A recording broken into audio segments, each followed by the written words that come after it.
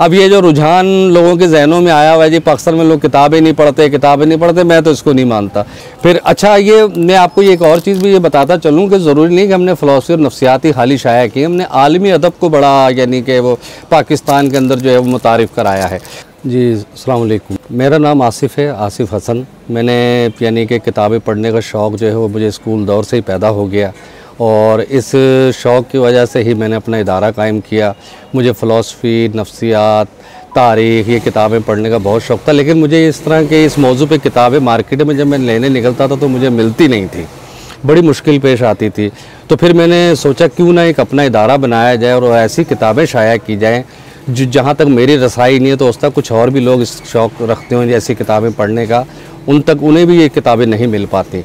तो फिर मैंने अपने एक इदारे का नाम सोचा कि क्यों ना एक इदारा बनाया जाए। तो मैंने फिर सिटी बुक पॉइंट के नाम से एक इदारा सोचा और 2000 में हमने इसकी बुनियाद रखी और मैंने शुरू ही में जो है ना वो किताबें इस तरह की शाया की जो नहीं मिलती थी मार्केट में।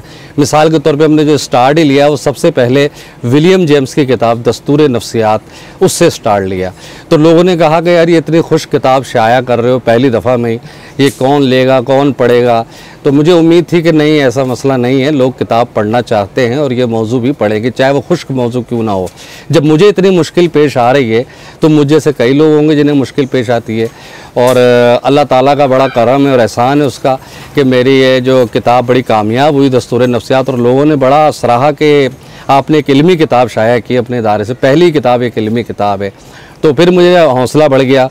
फिर मैंने चल सो चल जो है वो नफ्सियात, उसूल नफ्सियात, दस्तूर नफ्सियात, मसाइल फ़लसफ़ा क्या कहते हैं, उसको हमने तीन चार किताबें रसल की शाया की, फिर हमने सारतर को शाया किया, फिर हमने डॉक्टर खालिद सोहेल की किताबें भी शाया की, फिर हमने ओसपिंसकी की किताब शाया की तो बड़ा अच्छा रिस्पॉन्स मिला।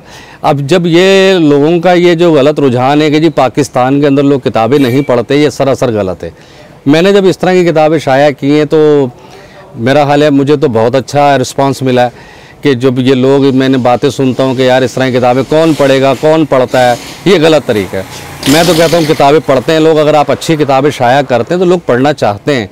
ऐसा मसला नहीं कि लोग किताबें नहीं पढ़ना चाहते। मैं आपको चंद अपनी किताबें भी दिखाऊँ तो शायद आपको पता भी चले कि मैं कोई गलत बयानी नहीं कर रहा हूँ। मैं आज भी किताबें इस तरह की शाया कर रहा हूँ और आगे भी हमारा यही सिलसिला चल रहा है। तो मैं आपको अपनी कुछ किताबें दिखाता हूँ ताकि आपको यकीन आ जाए कि हम इस तरह की किताबें शाया कर रहे हैं। ये देखें ये ओसपिंसकी की एक किताब है, चौथी जहद की तलाश। ये हमने शाया की। फिर अच्छा ये मैं आपको ये एक और चीज़ भी ये बताता चलूँ कि ज़रूरी नहीं कि हमने फ़िलासफ़ी और नफसियाती खाली शाया की, हमने आलमी अदब को बड़ा यानी कि वो पाकिस्तान के अंदर जो है वो मुतारफ़ कराया है। तो मेरा ख्याल है हमारा इदारा, वो पहला इदारा है जिसने कि आलमी अदब को, फ़िलासफ़ी को, साइकोलॉजी को, यानी कहानियाँ, स्टोरियाँ, नावल हमने मुतारफ़ कराने की कोशिश की और इसमें हमें बड़ी कामयाबी मिली। जैसे ये किताब मैंने बताई, इसी तरह फिर अब इससे एक हटके मौजू है। ये देखें इंसाइक्लोपीडिक डिक्शनरी ऑफ़ अंग्रेज़ी अदबियात ये अंग्रेज़ी अदबियात की पूरी डिक्शनरी है। अच्छा फिर ये एक मिस्टर डेलवे, हमने शाया की किताब नावल का तर्जुमा, ये बड़ा अहम है। इसी तरह हमने फिर ये डॉक्टर खालिद सोहेल की इंसानी नफ्सियात के राज है। अच्छा अब एक मौजू और है जो इन सबसे हद करे, वो है सेल्फ़ हेल्प का। वो भी हमने देखे, एटमी आदतें हैं। फिर हमने अभी अभी नए किताब छापी, पैसे की नफ्सियात, और भी बहुत सारी इस तरह की किताबें हैं इस मौजू के ऊपर। अब जैसे से ये देखें, आप इंसाइक्लोपीडिक डिक्शनरी ऑफ़ सूफीज़म इसी तरह एक ये बड़ी अहम शाम के बहुत बड़े राइटर थे ये इंसाइक्लोपीडिक डिक्शनरी ऑफ़ इस्लाम तो हमने ये मौजू भी शाया किए फिर तराजी में फ़ारूकी है। इसी तरह ये डॉक्टर खालिद खालिद जावेद जो इंडिया वाले हैं, उनकी किताब मौत की किताब है, फिर वो इरसलान बेजाद और अभी इसको एक किताब को उनकी नए नावल को उनके अवार्ड भी मिला है, नमत खाना। तो इसी तरह रसल की किताब। अच्छा एडवर्ड सईद की हमने चंद मजामी के ऊपर ये किताब जो है वो शाया की है। फिर ये साइलेंट पेशेंट नावल बड़ा मशहूर हुआ पूरी दुनिया में, उसका तर्जुमा हमने शाया किया। अगाथा क्रिस्टी को हमने मुतारफ़ कराया पाकिस्तान में, उर्दू में। ये सिर्फ़ डाइजेस्टों के हद तक छपते थे, लेकिन हमने किताबी शक्ल में इसको जो है वो मुतारफ़ कराया पाकिस्तान में। इस तरह डॉक्टर रऊफ़ पारिक साहब की लिसानियात। तो ये फलसफा मगरब की तारीख़ है। मंतिक पे हमने शाया की किताब। अच्छा फिर ये नोअल हरारे को हमने मुतारफ़ कराया उर्दू में मुस्तबिल की तारीख़ और बंदा बशर। अच्छा फिर ये आदात की ताकत फाइव सेकंड का जादू, अदम और वजूद, ये है सारतर की सिर्फ़ ये किताबें दिखाने का मकसद ये है कि हमने हर मौजू शाया, यानी कि शाया किया है। और अल्लाह ताला का बड़ा इसमें करम नवाजी है हमारे ऊपर, हमारे इदारे के ऊपर, कि हमारी तमाम किताबें कामयाब हुई हैं। अब ये जो रुझान लोगों के जहनों में आया हुआ है जी, पाकिस्तान में लोग किताबें नहीं पढ़ते, किताबें नहीं पढ़ते, मैं तो इसको नहीं मानता। आप देखें कि इस लाहौर के अंदर इतने पब्लिशर हैं, डेली किताबें आ रही हैं, डेली वाइज पे किताबें आप लगा लें तो डेली किताबें आ रही हैं, नहीं, कहाँ जा रही हैं? भाई लोग पढ़ रहे हैं तो छप रही हैं ना। अब हमारी ये किताबें बिक रही हैं तो हम, यानी कि शाया कर रहे हैं वरना हम क्यों शाया करेंगे? अगर हमें बिकी नहीं रही हो किताबें अब छाप के हम घर पे तो नहीं रखते तो लोग पढ़ते हैं। तो पहले तो हमें लोगों के जहनों से ये चीज़ निकालनी चाहिए कि लोग किताबें नहीं पढ़ते हैं लोग किताबें पढ़ते हैं। हाँ ये ज़रूर है आप कह लें कि हमारे यहाँ जो ऊपरी सतह पर जो कर, किताबों को प्रमोट करना चाहिए वो नहीं हो रहा। मिसाल के तौर पे किताब कल्चर यहाँ पैदा नहीं किया जा रहा है इसी वजह से आने वाली नस्लें जो हैं वो थोड़ा वो थोड़ा किताबों से दूर हो रही हैं। कि मिसाल के तौर पे हम किताब कल्चर इसलिए जैसे यूरोप साइड में कि कोई भी अगर कोई बंदा बैठा हुआ है तो फालतू बैठा हुआ तो वो एक बैग से किताब निकालता और पढ़ने लग जाता। हालाँकि वो कोई उसका तुक नहीं बनता, लेकिन वो सिर्फ़ दिखा रहे हैं कि फालतू वक्त में आप किताब का मताल करें।